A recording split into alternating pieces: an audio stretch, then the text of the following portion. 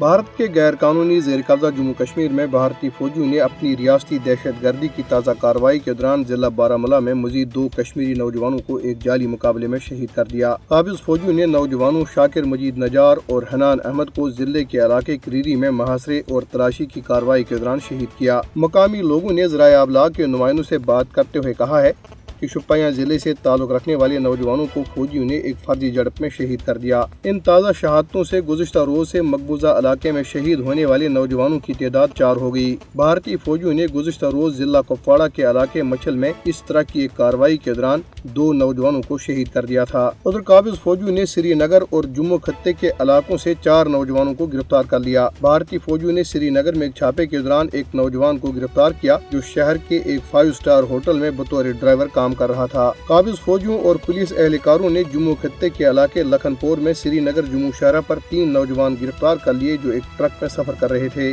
दरियासना मोदी की हिंदुत्व भारतीय हुकूमत ने मकबूजा इलाके में ग्रुप ट्वेंटी इजलास के दौरान हिफाजती इकदाम के नाम पर मजीद फोर्सेज एहलकार तैनात कर दिए हैं। एक पुलिस अफसर ने श्रीनगर में जराया अबलाग को बताया है की मेरीन और N S G national security guard के कमांडोज, मेहमानों और तकरीब के मकाम की हिफाजत के लिए तैनात किए जाएँगे। मकबूजा कश्मीर के जिला कश्तवाड़ में भारतीय फौज का एक हेलीकॉप्टर गिरकर तबाह हो गया। भारतीय फौज का हेलीकॉप्टर ज़िले के इलाके मरवा के गाँव के करीब गिरकर तबाह हुआ। हेलीकॉप्टर में भारतीय फौज के कमांडिंग अफसर समेत तीन एहलकार सवार थे। उधर बदनाम जमाना भारतीय तहकीकती इदारे एन आई ए ने मुख्तलिफ़ अजला में कई घरों आरोप छापे मारे। एन आई ए के एहलकारों ने भारतीय पैरामिलिट्री दस्तों के हमरा बारामूला और कश्तवाड़ अजला में कई घरों आरोप छापे मारे। ये छापे जमात इस्लामी ऐसी वाबस्ता अफराद के घरों आरोप मारे गए। कुल जमाती हुरियत कॉन्फ्रेंस ने तहरीक आज़ादी के मुमताज़ रहनमा मोहम्मद अशरफ सहराई को उनकी शहादत की दूसरी बरसी पर शानदार खराज इकीदत पेश किया है। मोहम्मद अशरफ सहराई पाँच मई दो हज़ार इक्कीस को जम्मू में भारतीय पुलिस की हिरासत में इंतकाल कर गए थे। कुल जमाती हुरियत कॉन्फ्रेंस के सीनियर नायब चेयरमैन गुलाम अहमद गुलजार ने श्रीनगर में जारी एक बयान में कहा की मोहम्मद अशरफ सहराई मजामत की अलामत और कुर्बानियों का मुजस्मा थे। उन्होंने कहा की मोहम्मद अशरफ सहराई ने अपनी पूरी ज़िंदगी जद्दहद आज़ादी के लिए वक्त किए रखी और बेजबहा कुर्बानियाँ दी। उन्हें कश्मीरियों के बुनियादी हकूक के मुतालबे की पादाश में बरसों मजालिम का निशाना बनाया जाता रहा। उनके एक बेटे को भी शहीद किया गया, लेकिन वो साबित कदम रहे और जालिमों के आगे कभी सर नहीं झुकाया। मुजदा जहाद काउंसिल के चेयरमैन सईद सलाहुद्दीन ने मुजफराबाद में मुख्तलिफ़ इजलासों से खिताब करते हुए कहा है